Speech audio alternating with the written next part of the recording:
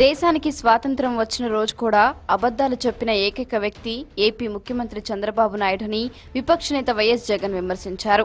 నంద్యాల ఎన్నికల ప్రచారంలో ఆయన పాల్గొన్నారు.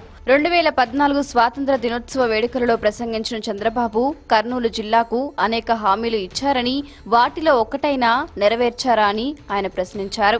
రాష్ట్ర విభజన అనంతరం స్వాతంత్ర దినోత్సవ వేడుకలకు కర్నూలుకు వచ్చిన బాబు ఎయిర్పోర్ట్ ఉర్దూ యూనివర్సిటీ కర్నూలులో smart city mining school wood work food park cement ఫ్యాక్టరీలు పారిశ్రామిక పార్కులు నిర్మిస్తామని వాగ్దానాలు చేసి మూడేళ్ళు దాటింది.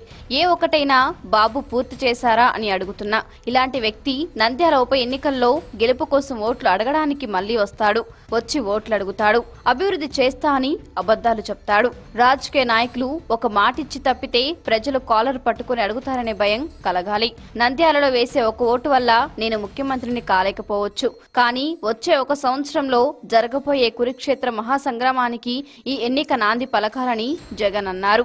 ఎమ్మెల్యేలను కొనుగోలు చేసినట్లు నంద్యాల ప్రజలను కూడా ముఖ్యమంత్రి చంద్రబాబు నాయుడు కొనాలని ప్రయత్నిస్తున్నారని విపక్ష నేత వైఎస్ఆర్ కాంగ్రెస్ అధినేత జగన్ విమర్శించారు. నంద్యాల ఉప ఎన్నికల్లో కోట్లు ఖర్చు చేస్తున్నారని ఆయన అన్నారు.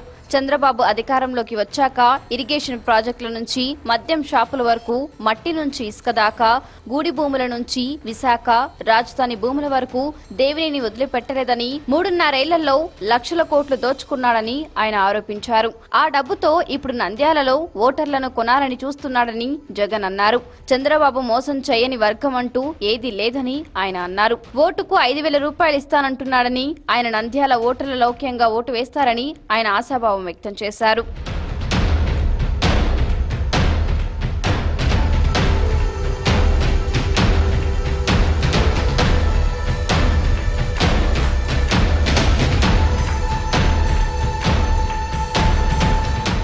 ఈ వీడియో కానీ మీకు నచ్చినట్లయితే లైక్ కామెంట్ షేర్ చేయండి. మరిన్ని అప్డేట్స్ కోసం సబ్స్క్రైబ్ చేయండి.